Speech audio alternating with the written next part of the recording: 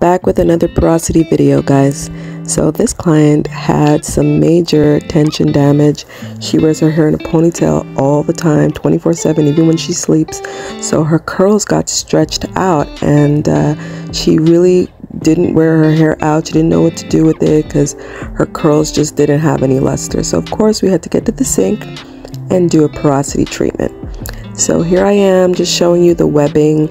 Webbing is caused by lack of protein in the hair, lack of moisture, lack of hydration, and the hair just kind of locks together almost like a spider web.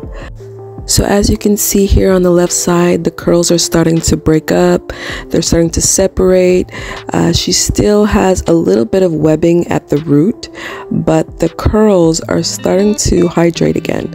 So uh, she does have to come back for another treatment. This is definitely not going to be done in one go but it's a big difference from when she came in. The curls are actually starting to separate and hydrate and as you can see here, it's soaking up the shampoo and the treatment and it's starting to come back to life. I encourage you to get a porosity test.